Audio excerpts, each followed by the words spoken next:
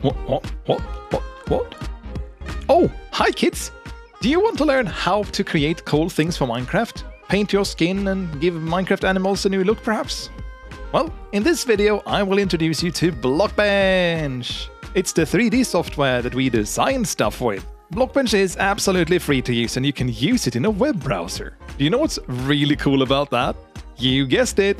Blockbench can be used on your phones and tablets too.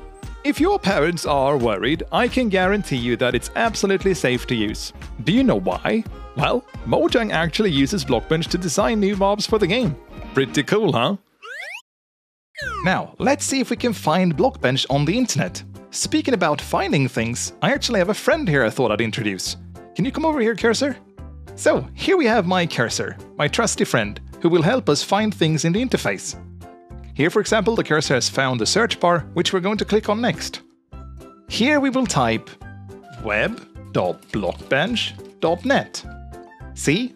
And if you're lucky, it should appear just like this and we can click on it to get to blockbench.net. Welcome! We are now inside of Blockbench. Usually though, there is a very big image here at the top showcasing something cool that others have made with Blockbench. So, let's create something. Alright, uh, Cursor, I just realized we can create a lot of things in Blockbench. Where do we start? Oh, you think we should start by showcasing some tools? Sure. So, in this video, we will open up a generic project up here to look at some of the basic tools in Blockbench and how to design something with them. I will click on Generic Project and then go down to Create New Model. If you don't know what you want to call your model just yet, don't worry about this box, we can fill this in later. Just click Confirm for now. So, um, how do we get started? All the way over here, we can click to create a new cube.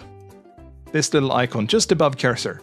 And a cube is what we build everything with. You can put cubes inside of folders. Here we have one of those. You see that the folder is called Bone, and the cube is called Cube. If I click and drag the cube, you'll see that I get a highlight just next to the bone. If I drop now, I will move the cube into the bone. But we will return to that with an animation video later.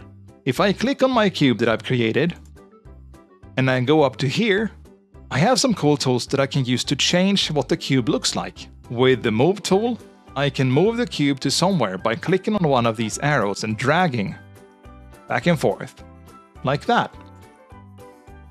I can also drag up and down, like this. Cursor, could you right-click for a second? Thank you. So now when cursor is right-clicking and holding, and we drag with the mouse, we actually move all of what you can see on screen. Everything inside of this area is a 3D world. If we want to rotate the 3D world, we click somewhere where there isn't a cube and hold down with left click. Cursor, hold down left click and let us drag for a second. So there we go. Now we can drag up and down. And as you see, when I drag up and down, I look at the bottom and at the top.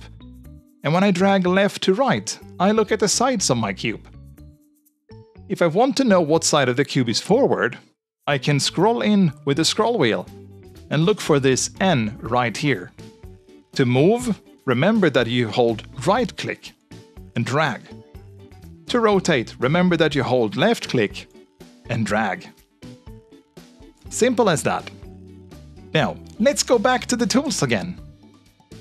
After Move tool, we have the Scale tool.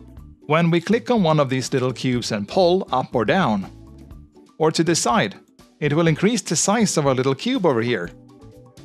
That's pretty cool, isn't it? Then we also have the Rotate tool over here. With the rotate tool, I can rotate my cube. I click here and I drag. Here we go. I click here on the red one and drag. Here we go. Or I click here on the green one and drag. There we go. As you notice, when I do this, the cube moves back to where it was before. That is because I used the undo command. If you want to undo what you just did, you can go up here to edit and you'll see that we have an undo and a redo here. If you're on a computer, you'll notice that you can use Ctrl C or Ctrl Y to do the same thing. Shortcuts on your keyboard. So, let's undo that rotation that I just did. There we go. Now we're back to scratch again. And now when we have explored the basics of Blockbench, left click to drag and rotate around the view, right click to move up and down or side to side in the view, and some of the basic movement tools, how to create a cube and how to create a bone. Making your own model might seem daunting at first, but don't worry, we will get to there in due time. I suggest you play around with some of these tools and try to make more than one cube and put something together. Now I'm going to increase the size of my cube and add a texture to it so we can talk about how to paint them in the next video. So up here, I'm going to select the scale tool, pull a bit here, and here, and here as well. Now I'm going to make sure that this cube over here is highlighted. You see that we have a grey box around it. Then I'm going to go all the way over my head here to create texture. Click on this image right here. Would you look at that cursor? What is this window?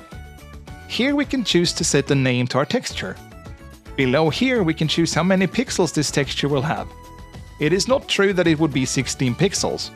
The 16 is actually referencing how many pixels a Minecraft cube is in total height and in total width.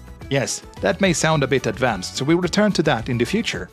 I am only going to create a new texture and click confirm. Did you notice how the cube got some new colors?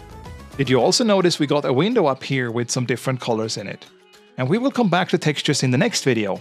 Not with this cube though, because we're going to change the texture of a Minecraft cow. I hope you are as excited as I am to continue learning Blockbench. You seem very creative, and I think you will learn Blockbench in no time. And in the next video, we will make a cow look like a cow. Bye bye. See ya.